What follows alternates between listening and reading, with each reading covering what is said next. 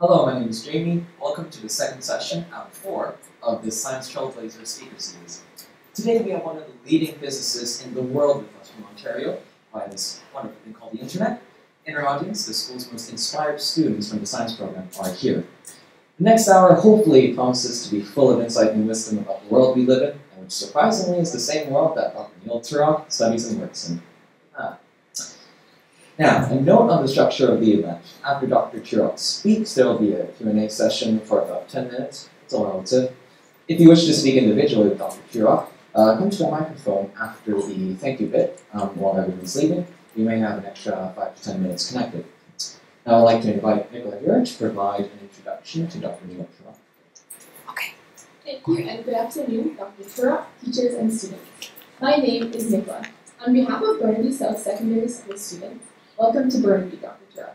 For your information, Burnaby is home to just over 220,000 citizens and eight secondary schools.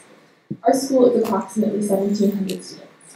Dr. Turok has had an amazing career and is now the director of the Perimeter Institute for Theoretical Physics, which is a scientific research organization working to advance understanding of physical laws and to develop new ideas about the essence of space, time, matter, and information.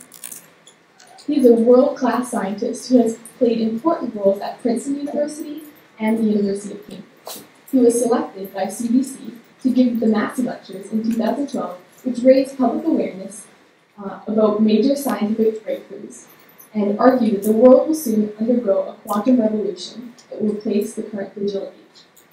When I was 13 in 2012, I had the privilege of listening to Dr. Turok's What Bank Massey lecture at UBC Chan Center on the origins of the universe, and of briefly meeting him afterwards.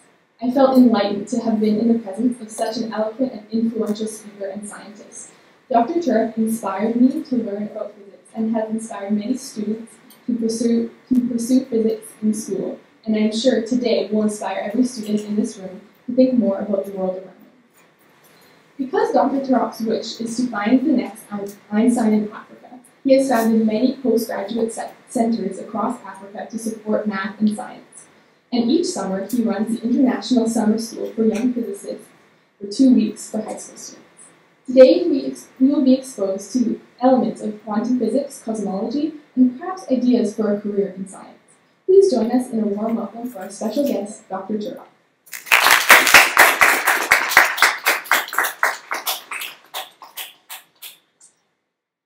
Um, so very happy to meet you all.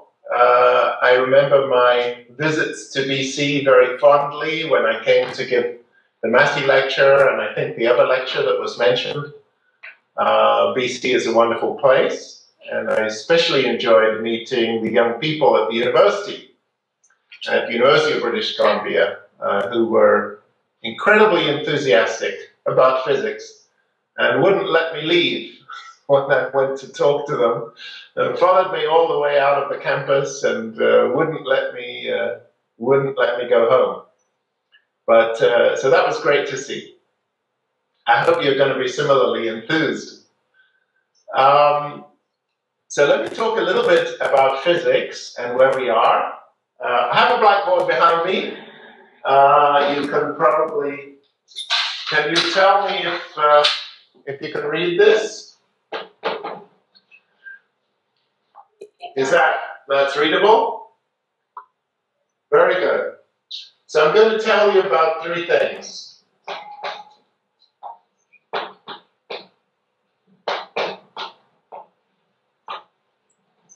Okay, big, small, and quantum. These are the three frontiers of physics today. Um, and in each case, uh, revolutions are happening. Um, this could not be a more exciting time to do physics. Um, it's certainly the most exciting time for the last 30 years because most of these developments we're seeing have been 30 years in the making. So let's start with the big. What's the biggest thing you know? The stars? Well, a star is quite big, but the universe is a lot bigger. And uh, do you know what the size of the universe is? Size The universe we can see, how big is it? So this is 10 to some power meters. What's, what's the power? Can you guess? So it's 1 with a certain number of zeros after it. And how many zeros? So 10 meters? 100? No? Okay, it's 10 to the 25 meters. One with 25 zeros after. It's a big place. And uh, not only is there our solar system orbiting the star, the sun that we live nearby, but there are about 100 billion stars, 10 to the power 11 stars in our galaxy, and there are about 10 to the power 11 galaxies in the universe. Okay, so there are about 10 to the power 22 stars. It's an awful lot of stars. And probably a lot of them have solar systems. So, um, what have we what have we learned recently about the universe? Has anybody been following the measurements which have been made on the whole universe, the 10 to the 25 meters? Can you mention a, an interesting experiment or observation that was done on the whole universe? Anything? What's, what's the biggest telescope you know, the most powerful telescope? The which? Kepler. Yeah, Kepler is looking for solar systems. Uh, but when I mean big telescope, I mean the telescope that's mapping the biggest things in the universe, the structure on the largest scale. Uh, Kepler is mostly focused in our galaxy. It's just looking nearby, in our neighborhood, at stars which have planets. The satellite which looks the furthest is the Planck satellite. And that has mapped the structure of the whole universe, uh, the whole visible universe, on the largest scales we can see. And what it discovered was uh, very surprising and very beautiful. That when you go to these very large scales, the universe is astonishingly simple. You can describe the structure of the whole universe which surrounds us with one number. Okay? We, there's nothing in, in, in your life you can describe with one number. I guarantee you. okay. Even an atom requires at least three numbers to describe. The simplest kind of atom, a hydrogen atom. But the structure of the universe requires just one number. And the number tells you how much the universe varies from place to place. So you look out at the sky, you measure the temperature of the universe across the sky, you find it varies very slightly by only one part in 100,000 as you go around the sky. And those variations are showing us what the universe looked like as it emerged from the Big Bang. Because we are looking very far from us, 14 billion light years away. Uh, and as we, we see the universe as it was 14 billion years ago just after the Big Bang. And what it looks like is amazingly simple. It's almost completely uniform, meaning almost identical in every direction, but there is a small variation of about one part in 100,000 of the density and temperature of the universe from place to place as we look around. So the universe on very large scales is stunningly simple. We have some theories of how the universe formed, how it came out of the Big Bang, but these theories are too complicated. I don't uh, personally believe any of them yet. Uh, we don't have a great theory. More or less, we have mathematical models which can fit the observations, but they don't uh, predict exactly what we see. They don't, they can fit, but they don't really explain what we see. Now, on the smallest scale, do you know what the smallest thing we know of in the universe is? What's the very smallest thing that anyone has ever seen? What's the most powerful microscope that anyone ever built? Have you heard it? Uh, I still can't hear it. Think. No, uh, it's a good guess. There's uh, this particular microscope is 27 kilometers around in a giant underground tunnel in Switzerland. It's CERN. Okay.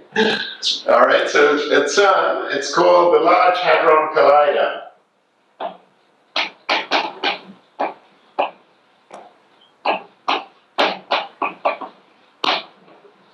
Okay? And what did the Large Hadron Collider produce? In the laboratory, it produced a certain particle, which we all got very excited about. What? The Higgs boson. Okay, so uh, this, and do you know roughly how big is the Higgs boson?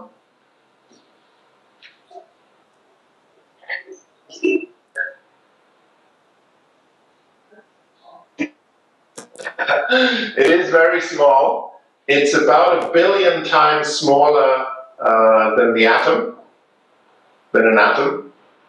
Uh, so the Higgs boson itself would be uh, about 10 to the minus 10 to the minus 18 meters.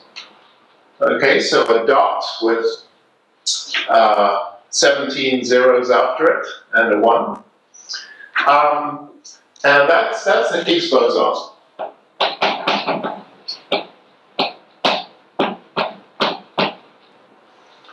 Why are we so excited about the Higgs boson? Does anyone know? What's, why is it special? If it's just some random particle, who cares?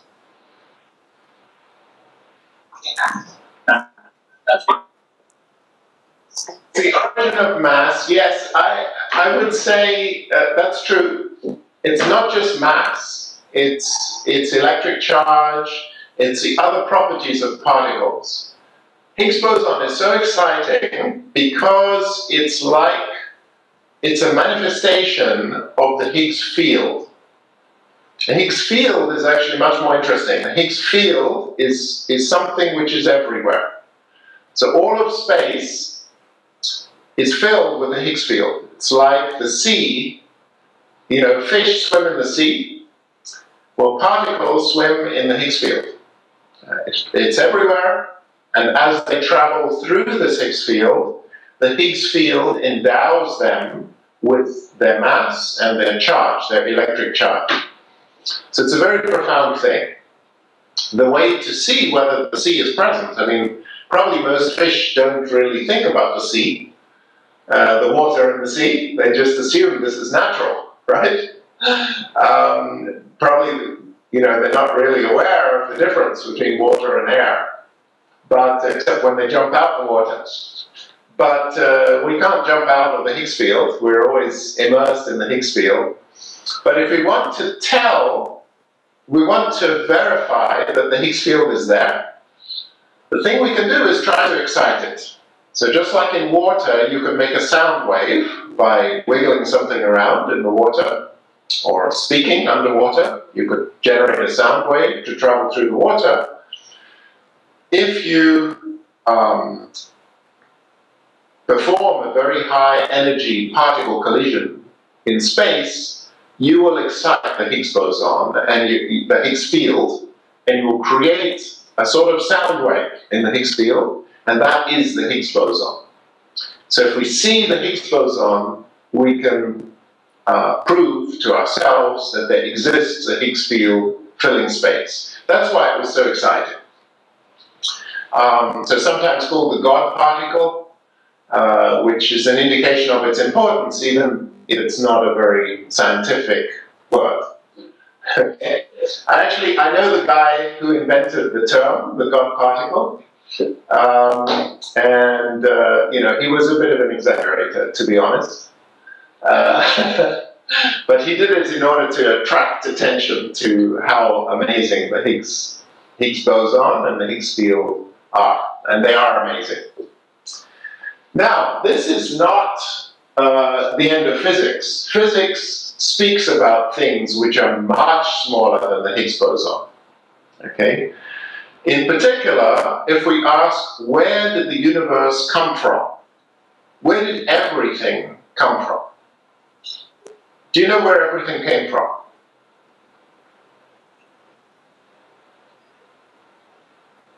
It came from an event. There was a, a single amazing event in our past, which is the which was the origin of everything. What is it? The Big Bang. And what we call the singularity. Do you know? Do you know what we call the singularity?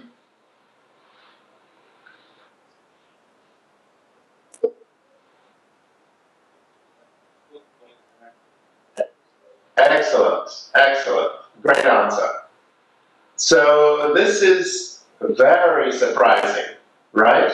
That all of these 100 billion stars, uh, sorry, 100 billion galaxies, each one with 100 billion stars, and everything else came out of a point, which is the Big Bang singularity.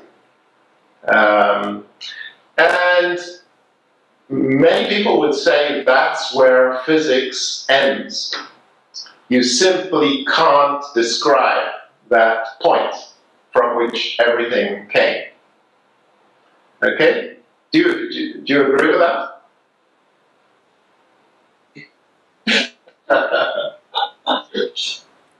well, I hope you don't agree with that because uh, the last 15 years of my research has been devoted exactly to that question.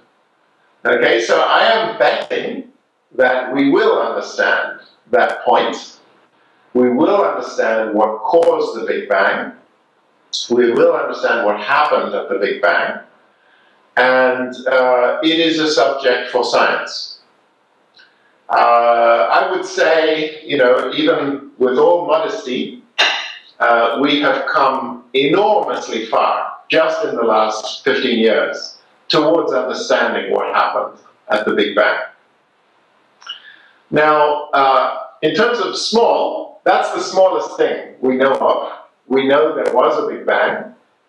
We know everything came out of a point, okay, in the past. But let's ask how big the point was. Of course, the point is zero. Right? A point has no size. So let's try and trace space back to a moment where we can still sensibly talk about space. Uh, so there is a limit. There's a limiting size beyond which it's quite hard, beyond which you need new types of physics. So think of the following. You see, the universe today is full of matter, stars and galaxies, and dark matter, and dark energy, but it also has radiation. It has something called the cosmic microwave background. Cosmic microwave background. Uh, so this is something which fills all of space, again, like the Higgs field, except in this case, it is radio waves. It's, it's waves just like you would find in your microwave oven. So the whole universe is, in effect, a big microwave oven, and we and it's uh, the microwaves are heating us up, but they only have a temperature of 2.7 degrees uh, Kelvin, that's degrees above absolute zero. So it's pretty cold, but uh, these waves fill space and we can measure them. And in fact, that is what the Planck satellite measures. It just, it's a, it's a device for capturing microwaves. Microwaves are waves whose wavelength is about um, a millimeter to a centimeter, and you need a telescope of roughly that size to capture them. So they have some mirrors which focus these millimeter, centimeter waves into a device which measures them. Um, this cosmic microwave background, you know, why is it important? Well, it's a small fraction of the total energy in the universe today. It's only about um, one ten thousandth of the total energy. But the point about radiation, like uh, radio waves, is that as the universe, you know, a radio wave, if I draw it, looks like this. Okay, it's something traveling along through space. It's made out of electric and magnetic fields, and they travel together through space. The point about it is that as you go back in the past, and the universe was smaller, these radio waves would shrink. So today, they would look like this, the microwaves, and at earlier times, they would be smaller and smaller and smaller and then we would go back to the Big Bang singularity, at which those radio waves were infinitely small in wavelength. Now, as you make something smaller, if a wave is smaller in wavelength, it actually becomes more and more energetic. Okay, there's a relationship between the wavelength of a wave and the energy carried by the wave. So you know this, for example, um, radio waves don't carry much energy. Okay, so if you walk near a radio wave, uh, the, generator, you're not going to feel a thing. But if you go near a light bulb, uh, the, the radiation carries more energy. And if you go near an X-ray machine, it's a little bit dangerous, and you need to wear shielding. Okay, and if you go even higher to gamma rays, uh, they can do you serious damage. Okay? So waves get more and more energetic the shorter the wavelength.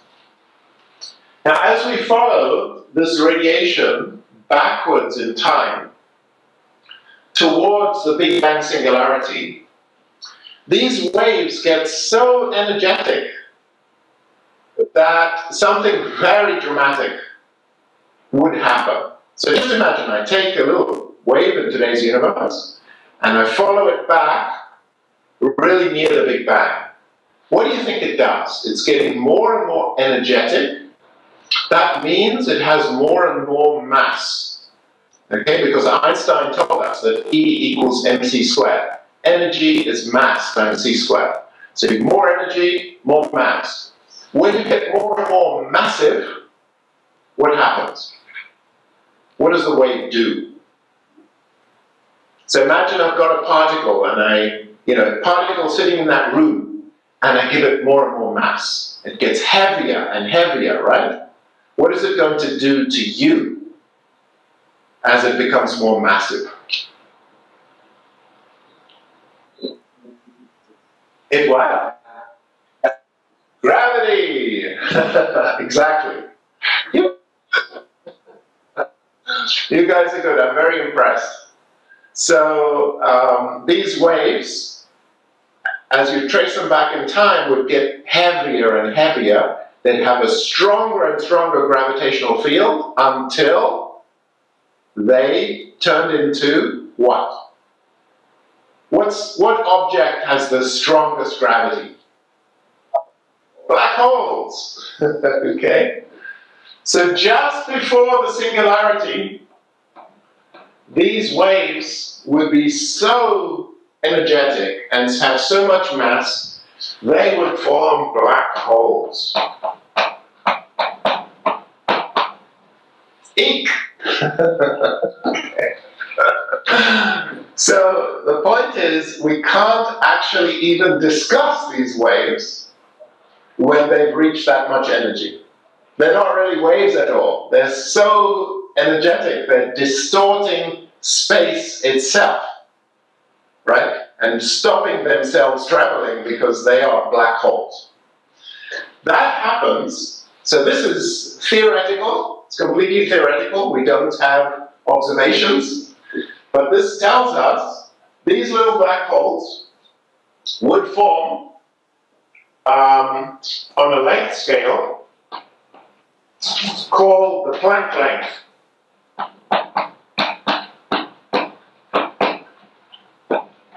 It's like the Planck satellite, it's the same Planck. Okay? Max Planck was an amazing German physicist who invented quantum mechanics, explained the spectrum of radiation from hot objects, and also discovered the Planck uh, length, this limiting length. Below that length, you can't really talk about space and time because space would become full of black holes. So this Planck length is the smallest length scale we know of in physics. It's way beyond, it's way smaller than the Higgs boson in size. So it's more theoretical, but it's the smallest thing we can conceive of it's 10 to the minus 35 meters. Okay, so that's pretty tiny. And uh, this is the Planck length.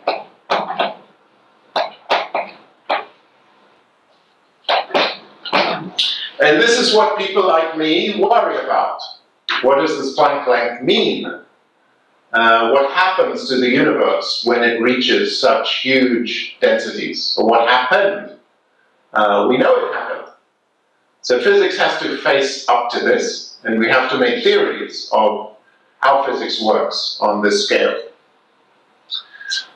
Now, something very interesting about the universe is that this huge scale, um, on this huge scale, the universe is incredibly simple. As I said, the whole universe is simpler than an atom.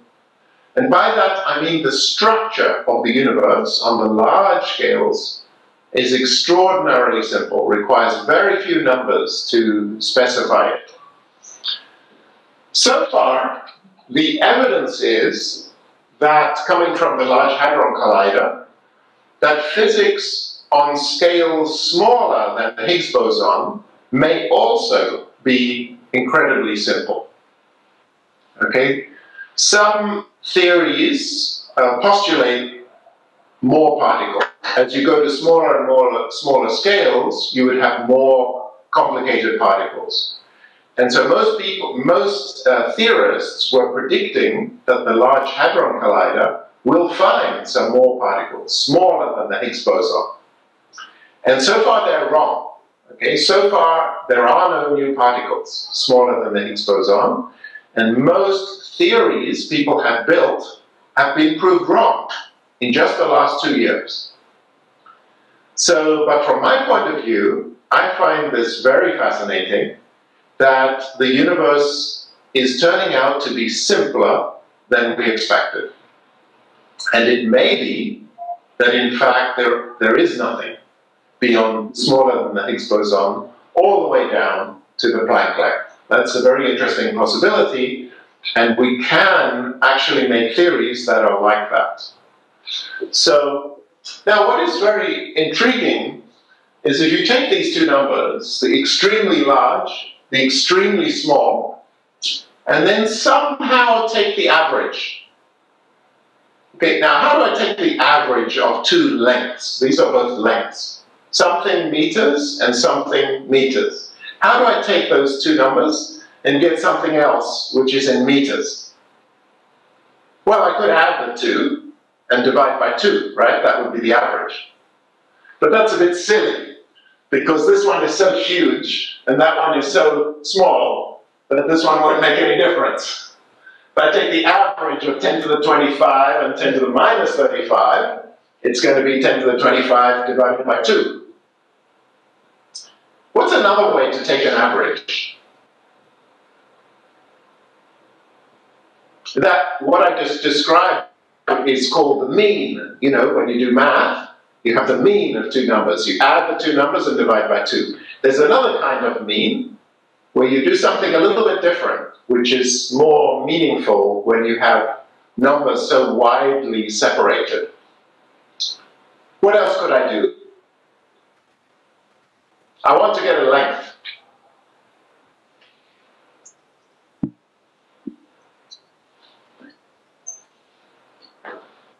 So let's say we have two numbers, A and B, and both of them are lengths. How do I get a, a, a length out of this which represents in some way, it is in between the two of them? Okay, so I could take A plus B over 2. That would be the mean. There's another thing I can do, which is to multiply them. A times B. But is it a length anymore? If I have A meters times B meters, then it's AB meters squared. It's an area. I don't want an area, I want a length. How do I get a length from A times B? Yay! okay, this is called the geometric mean geometric mean, right? I take an area and I take the square root, and that's the length. So let's do that with these two numbers. What's the geometric mean of 10 to the plus 25 and 10 to the minus 35? Okay, so we've got to multiply them. Multiply this by that, what do I do? I add the exponents, right? So I get 10 to the minus 10, then I take the square root, 10 to the minus 5 meters. It's a length. What's that the size of? 10 to the minus 5 meters. What's something know that is roughly that size? Something in your body. The cell. Somebody say the cell? Yeah, the cell. That is a living cell.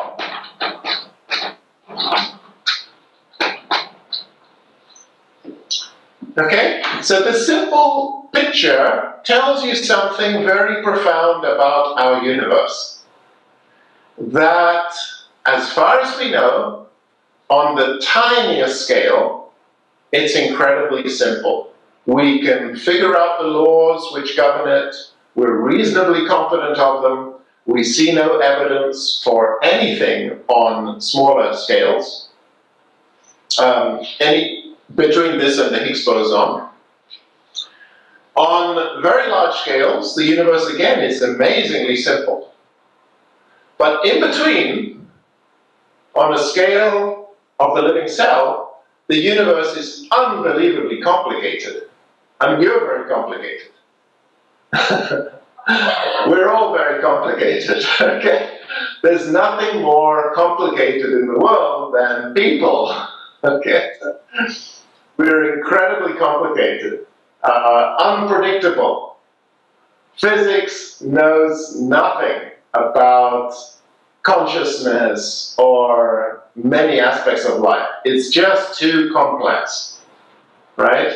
economics, you know, it's not a science because if it was, they would sometimes get the right answer, but usually they're wrong. Okay, my, my definition of physics, my definition of physics is it is mathematics applied to reality, and when it works, we call it physics.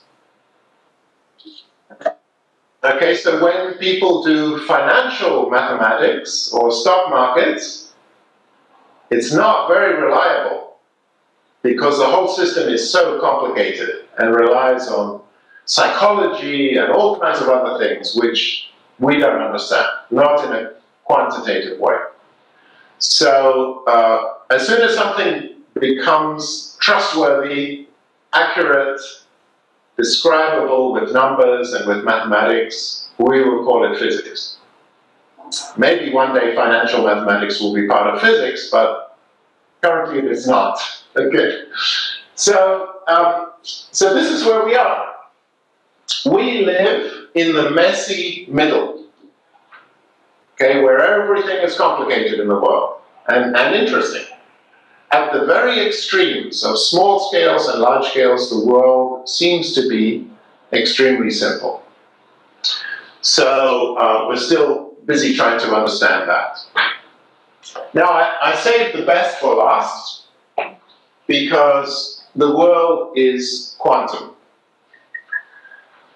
This is something which was discovered by physicists in the 1920s, a long time ago. And slowly people have come to terms with it.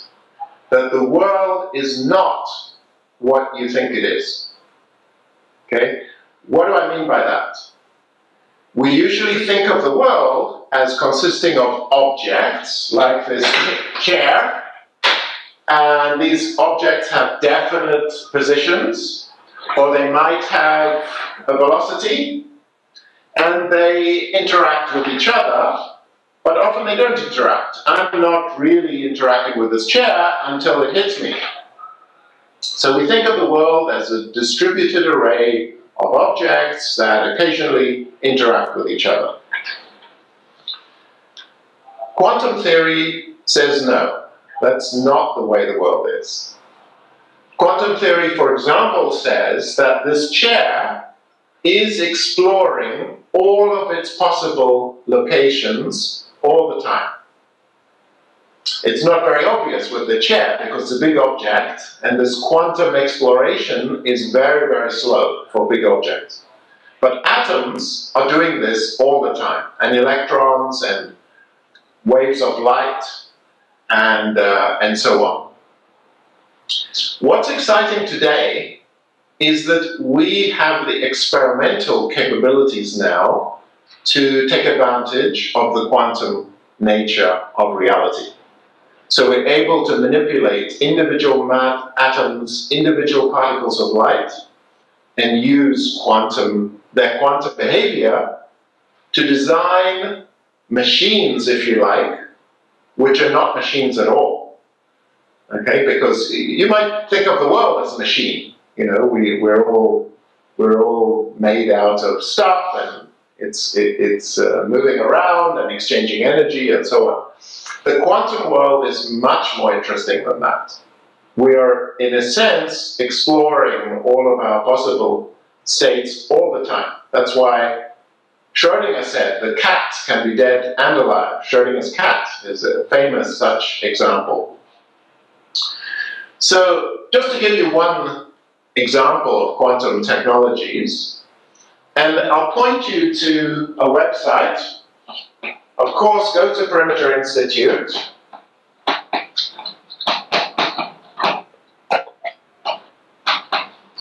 We held a conference here We held a conference here last June called Convergence, was bringing all of physics together. And one of the highlights was uh, experimental work on quantum systems. And so what was described, and you'll, you'll see uh, the lecture by Professor Immanuel Bloch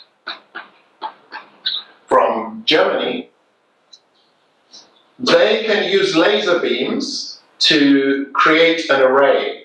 Okay, just like imagine drawing lines in space in a 3D grid. Okay, so you have a bunch of lines and you have some vertical and, uh, and, and also horizontal lines, and they intersect on a lattice, a lattice of points in 3D. Then you drop some atoms into the lattice, so that each intersection between the lines has an atom sitting on it. And now you start probing the atoms and you allow the atoms to interact with each other. And the whole thing forms a lattice called an atomic lattice, and actually an optical lattice because it's using lasers to hold the lattice together. Using such an optical lattice, you can make a clock, an atomic clock, which is accurate, which is so accurate that currently it loses less than one second in the whole age of the universe. Okay, so the universe, the age of the universe is 14 billion years. This atomic clock is so accurate, it lose, it would lose. Uh, it, it's only existed for a year, but it, it loses time at a rate of less than one second in the age of the universe. And these clocks are now getting more and more and more accurate. And so using these clocks, we can design experiments which probe nature at extremely high precision. So for example, uh, we're going to measure soon uh, gravitational waves from black hole collisions. This is going to happen within the next five years. Um, and there are many other uh, you know, great experiments will be done using quantum effects. Does anybody know about you know, some uh, device which people are trying to build now using quantum technology. What kind of device would we be able to build?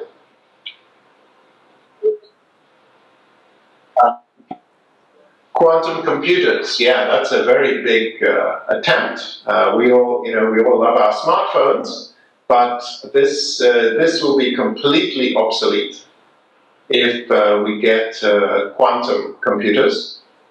Quantum computers, just to give an example, if you are able to make a quantum computer out of atoms, which is possible by the laws of physics, you would only need 200 atoms, each atom acting as a quantum register or qubit. 200 qubits would give you a computer more powerful than all the computers on the world today put together. And you could do it with 200 atoms. Okay, so we are working towards this revolution. Uh, Perimeter Institute, our partner experimental institute called the Institute for Quantum Computing. We don't know when this revolution is going to happen, but it seems to be coming faster than anyone expected. So there's been a lot of progress, and people can already make quantum computers with 10 atoms, but the power grows exponentially. So 10 atom quantum computer, you can't do much. Maybe you can multiply 3 times 5. okay, that's about it. But uh, when you get to 200 atoms, you can uh, you, you, you will completely transform the world. So uh, these are the three frontiers of physics, and I think uh, probably talked for too long, so I would love to take some questions. Thanks for listening. Can, can I start by asking a question? Sure.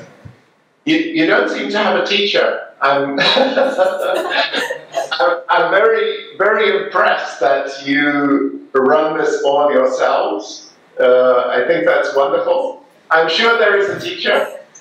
I'm sure you have a great teacher, but I think it's just great that you're doing this all yourselves.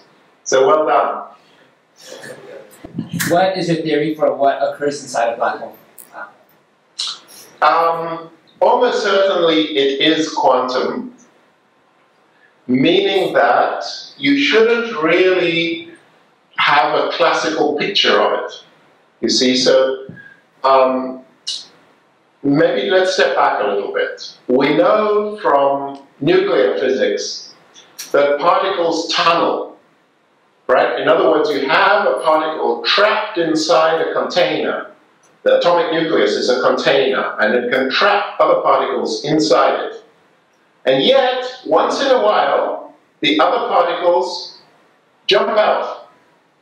That's called quantum tunneling. Okay? Basically, in quantum mechanics, you can walk through walls. Particles can walk through walls. Why? Because in quantum mechanics, an object explores all of its possible states all the time. And being on the other side of the wall is, is, a, is a state. So it happens. And we see that experimentally, and that's the explanation for radioactivity. Now let's think about a black hole. What is a black hole?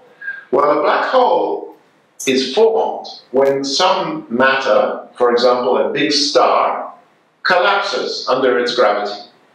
And all the matter in the star uh, gets drawn in by its own gravity and forms this black object from which light cannot escape. That's a classical picture. Okay, it's not the quantum picture. Stephen Hawking showed that what happens in the quantum picture is that particles do escape from the black hole, actually by tunneling. It's the same process as in radioactivity. The particles stuck in the black hole jump out and, and zoom away, and that's called the Hawking temperature. The problem is that Stephen Hawking didn't manage to do a full quantum calculation.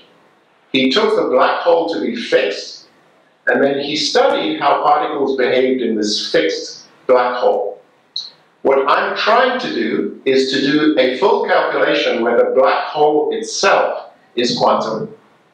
And so what you will see is stuff go in, form a black hole.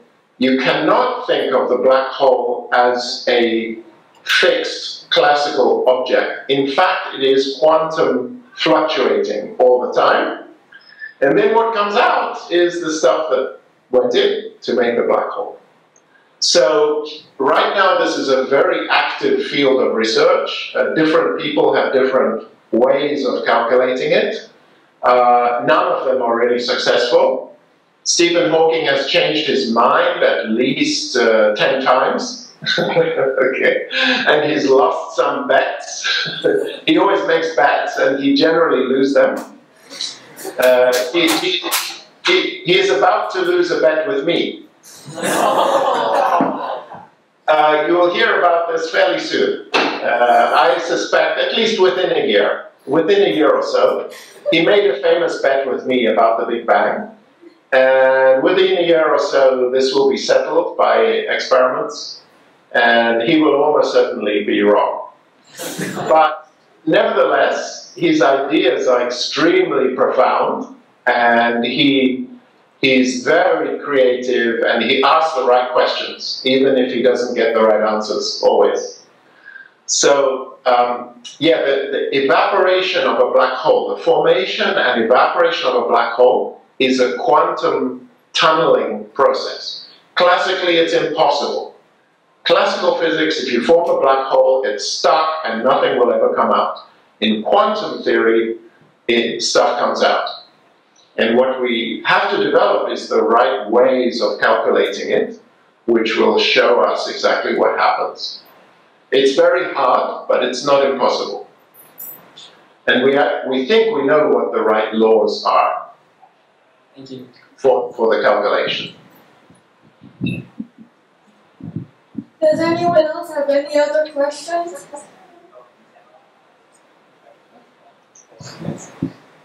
Yes. Uh, do you think that the black hole singularity will happen again, or the universe will reset in some way? Yes, uh, I, you know, what I think doesn't really matter. uh, what I think doesn't matter, and I try not to have a fixed opinion. I'm much more interested in learning from the observations and then in building mathematical models which make some prediction. So I am trying to build models which are cyclical. You know, the universe comes out of a bang, and then it gets dominated by dark energy, and then the dark energy decays and creates another bang. So we can make models like this. I don't yet have confidence in them. But the great thing is that we can test these models mathematically to ask, do they make sense?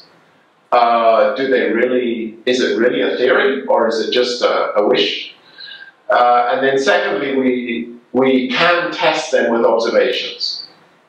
So uh, the observations which are coming are even more powerful than the Planck satellite, much more powerful.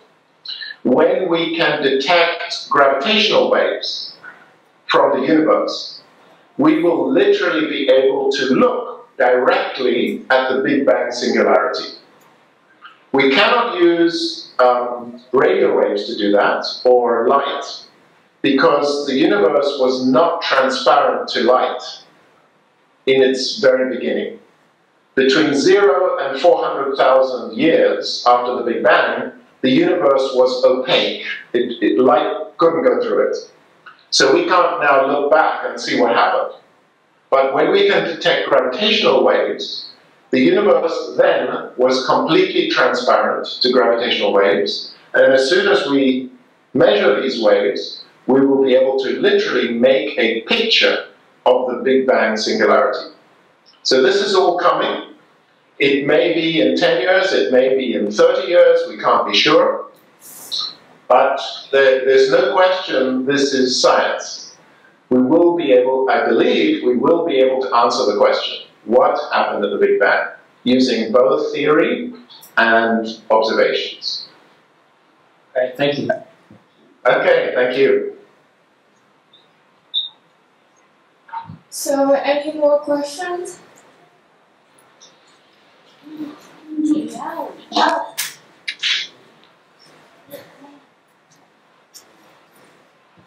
Hi, my name is Nicola, and um, my question is what is an experiment that you have been working on recently, or specific research that you have been doing?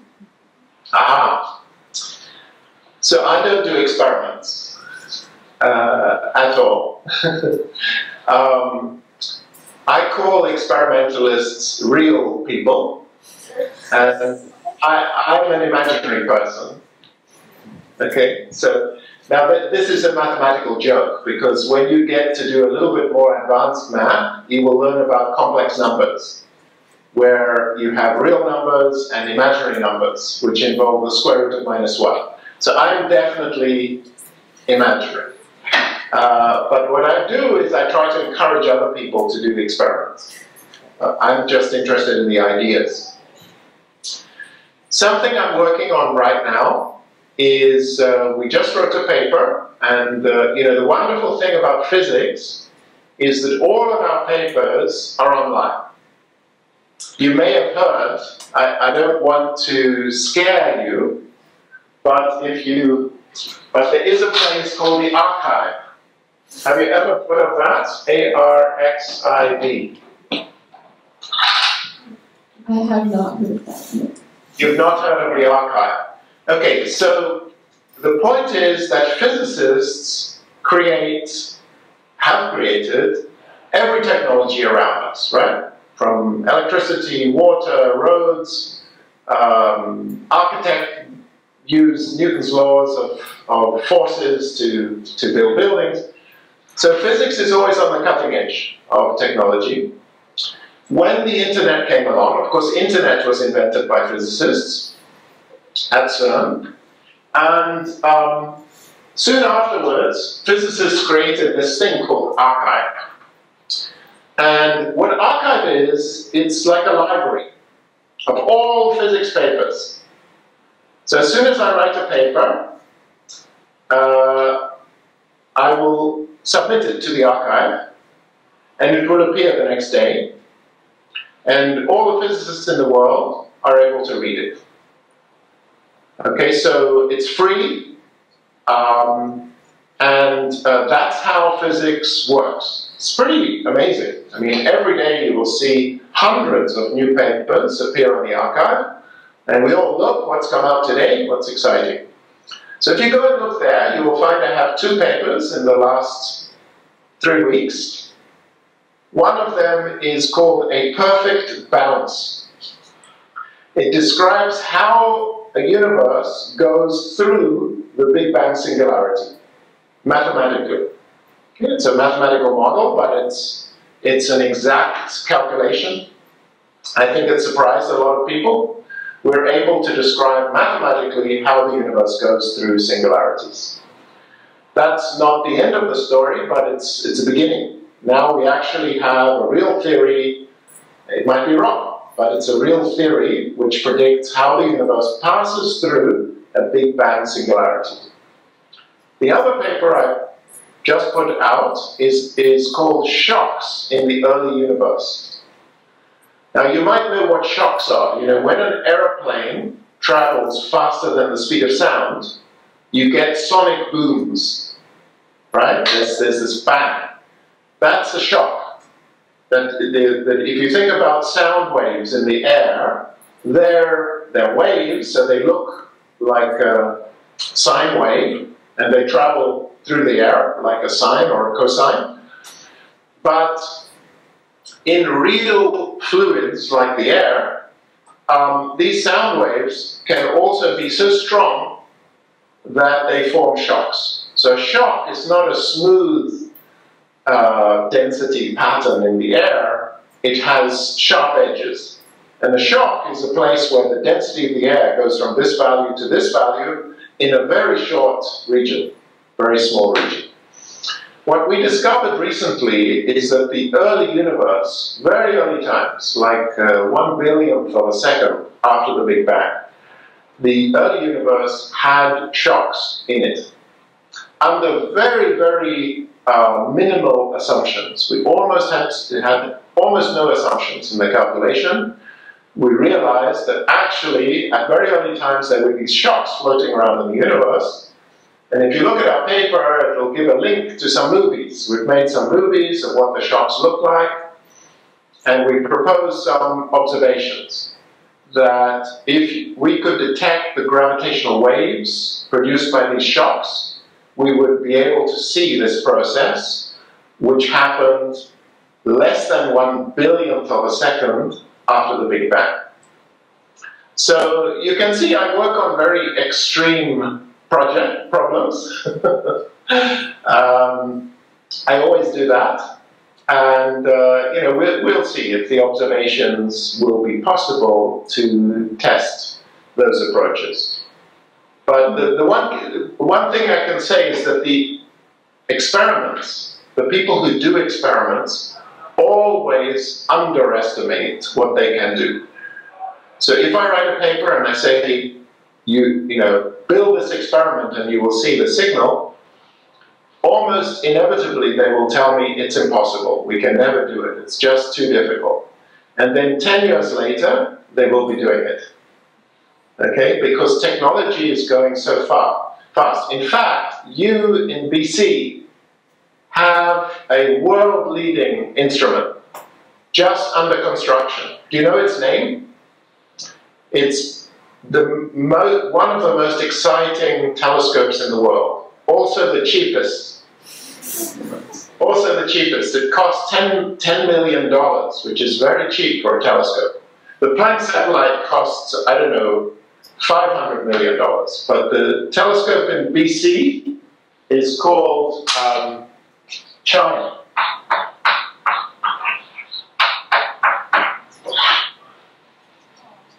uh, chime.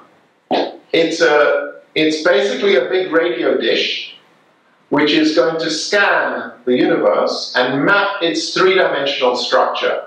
It's a very, very clever idea by one of the researchers at Perimeter. Um, and uh, so this is going to be uh, releasing results in the next couple of years and giving us a picture of the universe. Do you, do you know a place, have you heard of a place called Penticton? Yes, we have. That's where it is. Okay, so I encourage you to have a look at this. It's incredibly exciting. That's very interesting, thank you. Hi, Dr. Turok. My name is Chris. Thank you very much for generously offering your time to the students of Burnaby South Secondary today. You have provided us with your invaluable insights to your work at Perimeter Institute and in physics and science in general. We would also like to acknowledge the principal of Burnaby South Secondary is Chris Manson for hosting today's event at our school. Thank you today also thank you also to all the student leaders for facil facilitating the session and making sure it runs smoothly. Smoothly. what really stood out during the presentation for me was the quantum was about the quantum theory and how it states that an object is always exploring its possible positions. Hi, Dr. Thank you. Turok. Um, I'm Amy, and I think in general I will always remember your entire lecture today. It was really great and mind opening. Um, and all be, on, on behalf of all the students here and Burnaby student teachers here today, we would like to thank you. Everyone please join us in applause for Dr. Turok and his presentation.